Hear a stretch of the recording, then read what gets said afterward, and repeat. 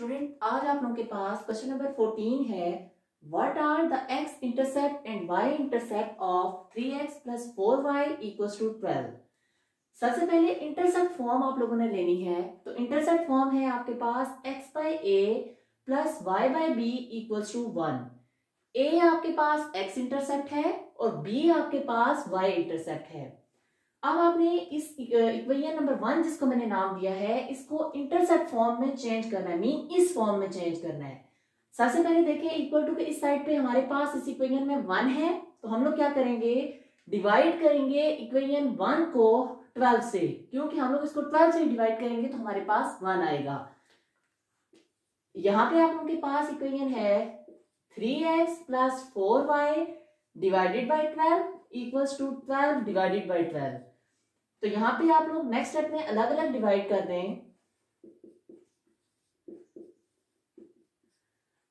Three one जार three three four जार twelve four one जार four four three jar twelve x by four plus y by three equals to one और अब आप देखें कि आप लोगों के पास इसके इक्वल ही आगे इक्वेशन ए मेरे पास क्या था? एक्स इंटरसेप्ट तो आप लोग लिखेंगे एक्स इंटरसेप्ट और ए की जगह पे यहाँ पे क्या है? Four similarly y intercept y intercept b था और यहाँ पे बी की जगह क्या है? थ्री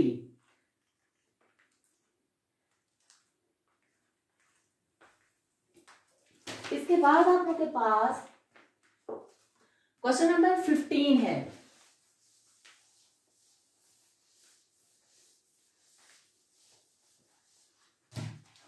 क्वेश्चन नंबर फिफ्टीन है find the equation of the line whose intercept on x axis is three times its intercept on y axis and which passes through the point minus one three कहता है कि हमारे पास ऐसे line के equation find करें जिसका x intercept three times है उसके y इंटरसेप्ट से। पहली कंडीशन तो हमारे पास ये है, हम उसको यूज़ करते हैं।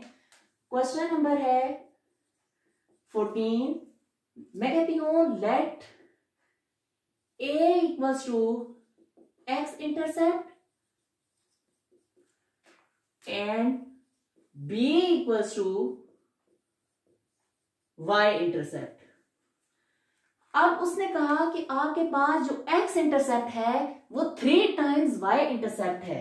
It means a equals to three b चूँकि हमारे पास y इंटरसेप्ट b है तो इसका मतलब है कि हमारे पास जो a है, वो थ्री टाइम्स है थ्री टाइम्स b है।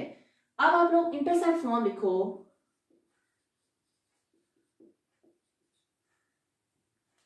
एज गिवन डेट यहाँ पे आप लोग लिख लें as given that x intercept is three times of y intercept. So, आपके पास आ जाएगा a equals to three b अब स्टूडेंट्स इंटरसेप्ट फॉर्म लिखेंगे हम लोग. X by a plus y by b equals to one देखिए यहाँ पे x इंटरसेप्ट y इंटरसेप्ट की बात कर रहे हैं. यहाँ से हमें पता चला कि इंटरसेप्ट फॉर्म चाहिए हमें.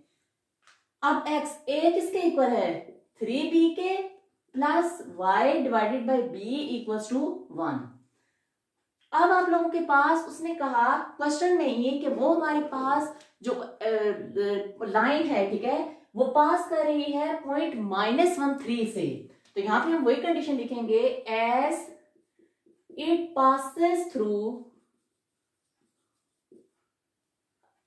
minus one three ठीक है passes through minus one three it means x is equal to minus one y is equal to three तो सब्सटीट्यूट करेंगे minus one by three b plus three by b equals to one LCM लेंगे next step में?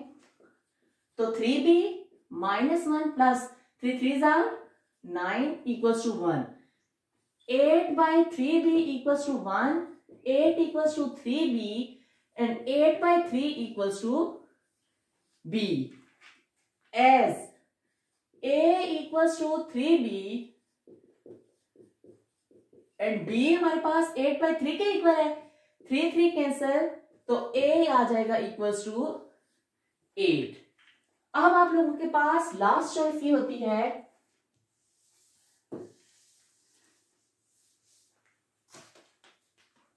Put in intercept form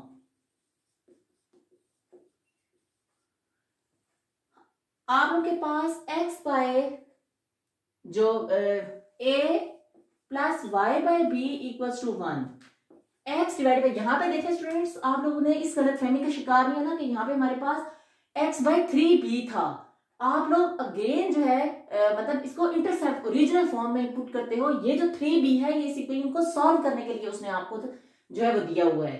तो ए आपके पास है eight plus y by b आपके पास उसने दिया है eight by three equals to one ये स्टूडेंट्स आप लोगों की रिक्वायर्ड है। उम्मीद करती हूँ कि आप लोगों को समझ आ गया होगा।